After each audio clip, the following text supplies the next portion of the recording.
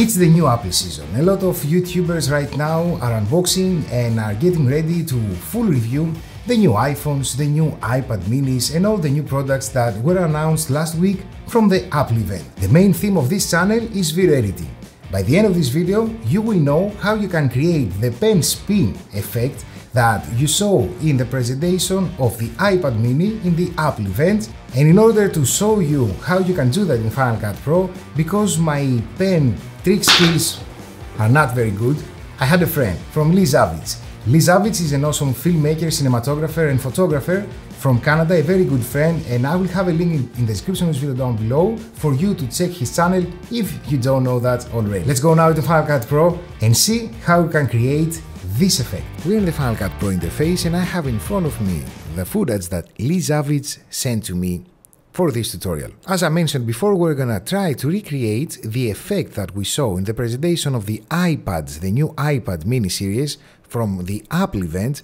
And of course, if you wanna do that with a pen or not the Apple Pencil, with a stick or anything, and you want to record the same movement in a different place, you can move forward. So let's play first the footage to see. We see that we have this nice spin effect. The first thing that I want to do is go into view and click on show horizon. I'm gonna need that because I'm gonna need to have the pen in the same position. Now, I will move with the right arrow in my keyboards with the frames to the right, just where the first spin starts. Right here, I'm gonna go in the inspector panel and I'm gonna zoom in at around 265 percent then I'm gonna play with the X and Y axis but first I'm gonna change the rotation so I can make the pencil vertical and I'm gonna try to stick to that vertical of the pen while the spin is happening.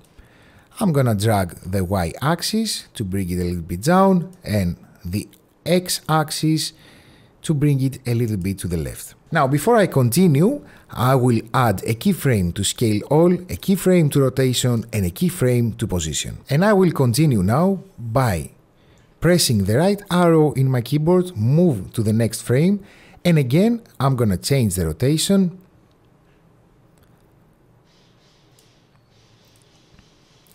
the y-axis and the x-axis. As you can see we have the horizon right here to keep it, the pencil into the middle of the frame and I'm gonna continue this process to the next frame, the y axis, the x, again the same, right arrow moving one frame to the right, you got the idea of what I'm doing right now. And as you can see, we're doing the spin. Now, let's get the things to become more interesting. First of all, what I want to do is to make a zoom in as we saw in the presentation from Apple, the zoom in when the spin starts. We can do it two frames before the spin or three frames, we can do it three frames. So from here, we have the keyframe. I will add another keyframe here, another keyframe here, and another keyframe here, scale all rotation and position. And I will move back and set scale all to 100%, rotation to 0, and the X and Y of the position to 0. So what you're going to see is that we're doing the zooming. If we had another footage right now to create the transition, we would connect it here to continue and when we finish to be somewhere else. For this purposes here, because we don't have any other footage, what we're gonna do is that when we finish the spin here, I'm gonna press the B on my keyboard to blade it. And when the spin starts, here again, B on my keyboard and click here to blade it. Now I'm gonna press the option and with a click I'm gonna duplicate this. We're doing a double animation. I can duplicate this again and duplicate this again four times so I can have something like this. And I will go now to the end of the footage where we finish. Let's move two keyframes to the right. I will add a keyframe to scale all, rotation and position. And then I will move, let's say, five frames. One, two, three, four, five. And five more. One, two, three, four, five. And I will set the position Y and X to zero. And I'm gonna drag the scale all to zoom out just where I don't see these black empty spaces to the right and left.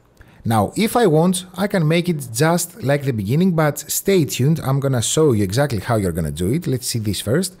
So the end result is gonna be something like this. And to make it even more interesting, we need to do two things more.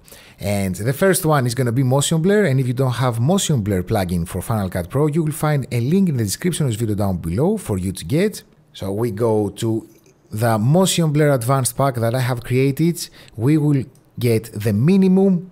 We will set it in front of where it is, right here on the segments that we're doing the rolling and we will go in the inspector panel and disable the zoom blur. So with the motion blur, let's disable this horizon. It looks like this. Perfect. And of course, what else? Sound effects.